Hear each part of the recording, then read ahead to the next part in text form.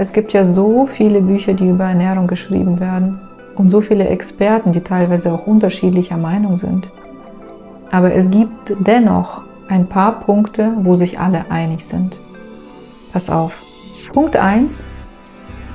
Esse kein Zucker.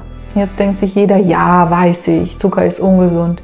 Nee, Zucker führt noch zu viel schlimmeren Dingen in deinem Körper. Es ist nicht nur so, dass es keinerlei Nährstoffe enthält, keinerlei Vitamine und so weiter und einfach nur leere Kalorien, sondern es schadet auch noch deinen Arterien, deinem Darm und wir wissen mittlerweile, dass die Darmgesundheit zu 80 Prozent unseres Immunsystems ausmacht. Punkt Nummer zwei sind Milchprodukte. Also Milch, Quark, Joghurt, so viele Wachstumshormone, die Milch enthält. Na klar, es muss das Kälbchen ja auch groß werden, braucht ein erwachsener Mensch nicht mehr. Auch Milch gut für deine Gesundheit nichts. Drittens zum Thema Fette. Esse keine Transfette. Sprich nichts in Sonnenblumenöl zu Hause anbrutzeln oder sich Fertigprodukte kaufen, wo Sonnenblumenöl drin ist oder Rapsöl, was ja schon erhitzt wurde. All das, und das ist auch mittlerweile wissenschaftlich belegt, ist höchst krebserregend.